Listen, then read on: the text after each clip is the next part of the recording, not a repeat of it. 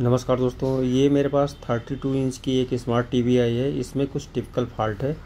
ये है रियलमी की टीवी और इसमें जो प्रॉब्लम है, ये आप लोगों को जानने के लिए बहुत ही ज़रूरी है, क्योंकि आने वाले टाइम में ये आपको काफ़ी हेल्प करेगा इस टाइप के फॉल्ट को। इसमें प्रॉब्लम है, यहाँ पर देखें, ये मेन से एलईडी जल रही है, और अभी ये ऑन भी हो जाएगा। लेकिन डिस्प्ले नहीं है, और ना ही इसमें बैकलाइट जल रही है। ठीक है? तो इसमें प्रॉब्लम कई हैं। लेकिन सभी प्रॉब्लम का यहाँ पे एक सलूशन है जो कि आप इस वीडियो में देखेंगे। देखिए, जैसे यहाँ पे हमने जो है इस रिमोट से ऑन और ऑफ़ किया। अब यहाँ पर देखें, ये ऑन तो हो गई टीवी लेकिन यहाँ पे डिस्प्ले नहीं देखने को मिलेगा। दिखाते हैं आपको। ये सिम्टम इसलिए बता रहे हैं कि अगर आपको इससे रिलेटेड सिम्टम देखने को मिले तो कैसे इसे टेस्ट करेंगे और फॉल्ट को टेस्ट आउट करके कैसे इस फॉल्ट को सॉल्व करेंगे? यहाँ पे बैकलाइट भी नहीं जल रही है। ये ऑन और ऑफ़ हो रहा है स्मूथली। अब इसके वोल्टेज को हम टेस्ट आउट करेंगे।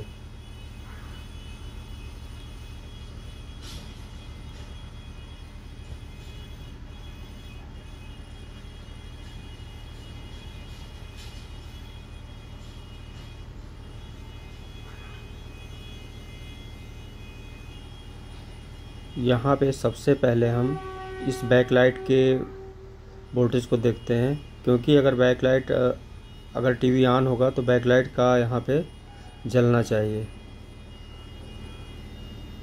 तो जलेगा तो यहाँ पे वोल्टेज फ्लो होगा। जैसे सत्रह वोल्ट है तो इससे अधिक वोल्टेज यहाँ पे जनरेट हो जाएगा। अगर नहीं जनरेट हो रहा है और टीवी ऑन हो रही है यानी मदरबोर्ड ऑन हो रहा है तो आगे प्रॉब्लम क्या है? यहाँ पर देखें जैसे 1.8 वोल्ट ओके है। फिर यहाँ पे देखेंगे ये वन वन, यहाँ पे वोल्टेज जो हमारा कोर वोल्टेज है, वो अप और डाउन हो रहा है यहाँ पर देखें ध्यान से। जो 1.2 जैसे वन वोल्ट होता है उसका कोर वोल्टेज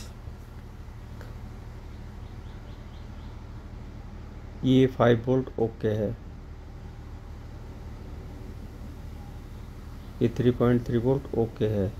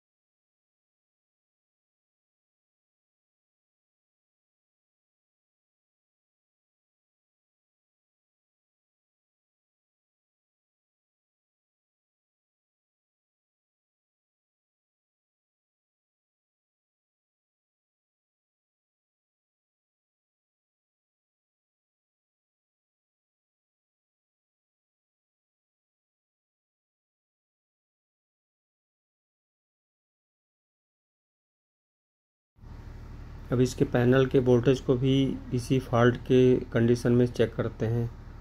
अब यहाँ पर देखेंगे पैनल के जो वोल्टेज आ रहा है बीसीसी यहाँ देखेंगे तो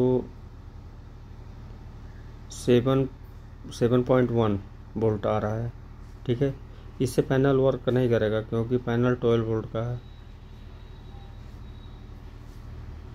अब ये जो बैकलाइट का वोल्टेज है, यहाँ पे 28 वोल्ट होना चाहिए, जो कि 17 से 18 वोल्ट यहाँ पे मिल रहा है। और ये यहाँ पे जहाँ पे ट्वेल्व वोल्ट होना चाहिए, सेवन वोल्ट मिल रहा है। ठीक है?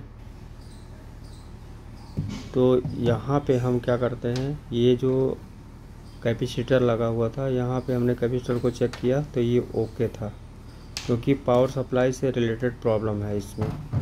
अब इस प्रॉब्लम को सॉल्व करने के लिए ये प्रॉब्लम कहाँ से है, इसको हम कैपेसिटर चेक किए, कैपेसिटर ओके है। ठीक है? अब यहाँ पे अगर कैपेसिटर में फॉल्ट होता तो वोल्टेज फ्लैक्चुएट होता। यहाँ पे एक सिम्टम और जान लें आप। लेकिन वोल्टेज कांस्टेंट है, कि जो सेवन है तो सेवन ही है। तो इसका मतलब कि हमारा एरर डिटेक्टर से रिलेटेड प्रॉब्लम है। तो हम उसमें ही इस प्रॉब्लम को टेस्ट आउट करेंगे। जैसे यहाँ पर देखें, एरर डिटेक्टर की सर्किट यहाँ पे है। और यहाँ हम सबसे पहले कंटिन्यूटी मोड पे इसको रखते हैं बजर के मोड पे, जिससे बीप का इंडिकेट करेगा। तो यहाँ जैसे ट्वेल्व वोल्ट है, यानी बारह वोल्ट अब बारह वोल्ट से जो रिलेट जो रिलेट कर रहा है रेजिस्टेंस यहाँ पर देखिए बीप दे रहा है। तो जहाँ जहाँ बीप दे रहा है तो ये जिससे ये रिलेट करके ये वोल्टेज को जनरेट किया गया है कांस्टेंट यानी रेगुलेट करने के लिए तो उसी वोल्टेज से रिलेटेड ये प्रॉब्लम भी हमको चेक करना है। वो कैसे? जैसे अभी हमने कंटिन्यूटी मोड पे रख के इसको चेक किया है। अब यहाँ पे इसी रेजिस्टेंस को हम चेक करेंगे जो 12 वोल्ट से रिलेटेड है। यहाँ पे 2.2 किलो ओम रेजिस्टेंस ये सही है। एक रेजिस्टेंस और है जो 12 वोल्ट से कनेक्ट हो रही है। ये। यहाँ पर देखेंगे तो ये 6.8 वो भी अप डाउन हो रहा है यहाँ पे। तो यहाँ पे डाउट है। यानी ये रेजिस्टेंस इसको हम उलट कर देख लेते हैं। उलटने पे भी यही कंडीशन बता रहा है। तो यहाँ पे ये डाउट है। यहाँ जो रेजिस्टेंस लगा हुआ है, अभी हम आपको दिखाते हैं कि इसका कितना किलो ओम है।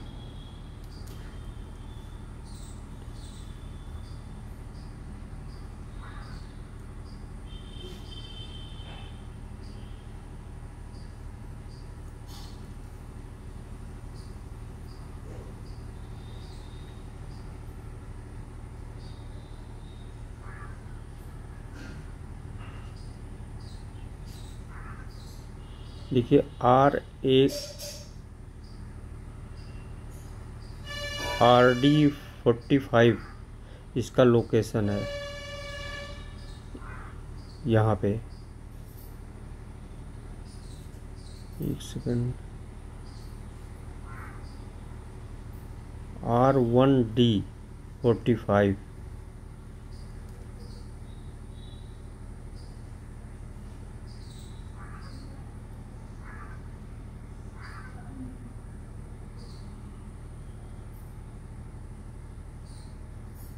sorry है आर डी फोर्टी फाइव नहीं है, उसके नीचे वाला है। ये यहाँ पर देखेंगे, आर वन फोर्टी थ्री है, ठीक है? यहाँ पे जो रजिस्टर लगा हुआ है, ये उनतालीस के का है। इसको हम ओपन कर लेते हैं, ओपन करके इसको चेक करते हैं, दिखाते हैं। क्योंकि जो डाउट है, पहले उसके क्लियर करना ज़रूरी होता है कि प्रॉब्लम कहाँ से है।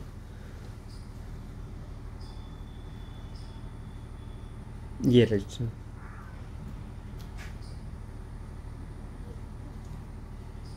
इसे यहाँ से हम डिसोल्ड कर लेते हैं रिमूव करके और इसे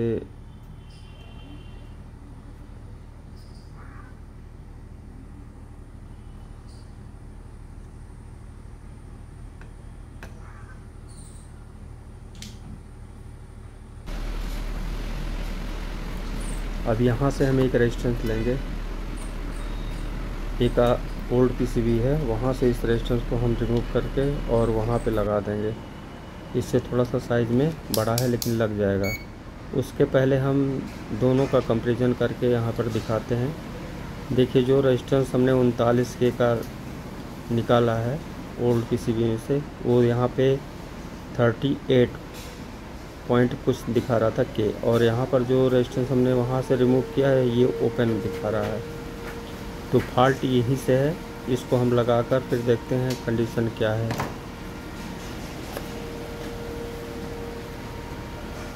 एक बार हम इसे जूम करके दिखाते हैं।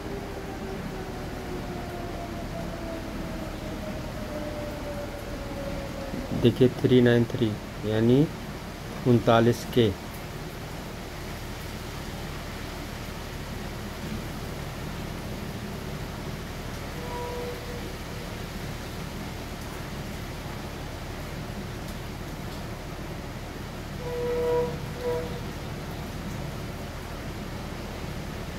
अब इस रेजिस्टेंस को यहाँ पे हम लगा देंगे।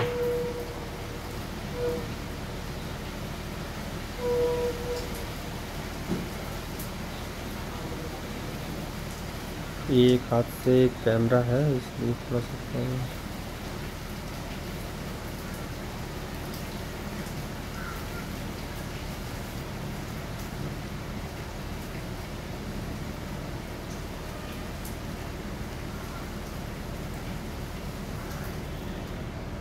ठीक। एक सेकंड निकल गया।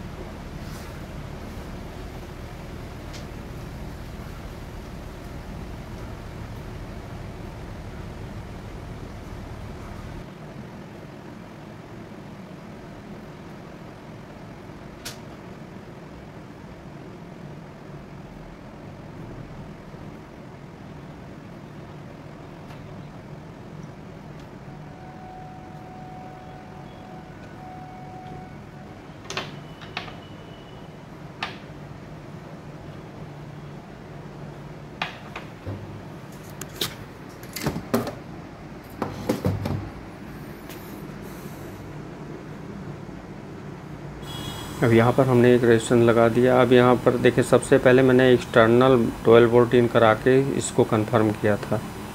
ठीक है? अब यहाँ पे हम इस कैपेसिटर को फिर से दोबारा लगा देते हैं, जो हमने चेक करने के लिए निकाला था। क्योंकि कोई भी पावर सप्लाई रिपेयर की जाती है तो पूरा क्लियर करके किया जाता है यहाँ पे। तो हमने डाउट पे इसको भी ओपन कर लिया था कि ये कहीं वीक तो नहीं है। क्योंकि इसमें अगर फॉल्ट होता कैपेसिटर का तो जैसे कुछ सिम्टम होते हैं फ्लैक्चुएशन का तो वो नहीं था इसमें।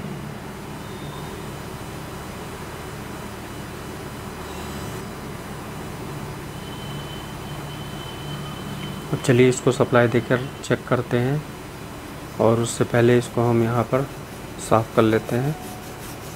तो इसको हमने थिनर से साफ़ कर लिया, और साफ़ करके एक बार यहाँ पे वोल्टेज को भी चेक करेंगे, पहले सप्लाई देंगे।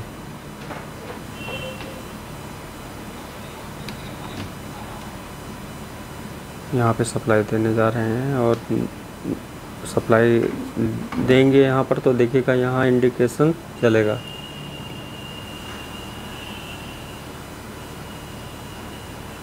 ट्वेल्व पॉइंट फोर यानी ओके हो गया। ये प्रॉब्लम रेजिस्टेंस अब यहाँ पर देखेंगे बैकलाइट का 25.74 वोल्ट ये भी ओके हो गया, क्योंकि ये भी वोल्टेज ड्रॉप था, वो भी वोल्टेज ड्रॉप था। लेकिन यहाँ पे ड्रॉपिंग में फ्लैक्चुएसन नहीं था, ये 12.37 ये पैनल का वोल्टेज है।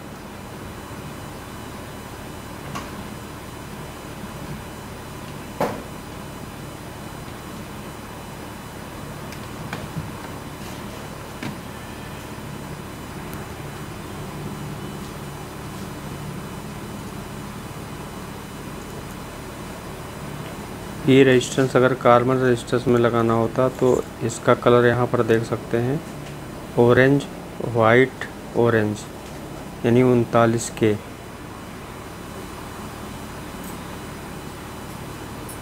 ये रियल की 32 इंच की एलईडी टीवी है।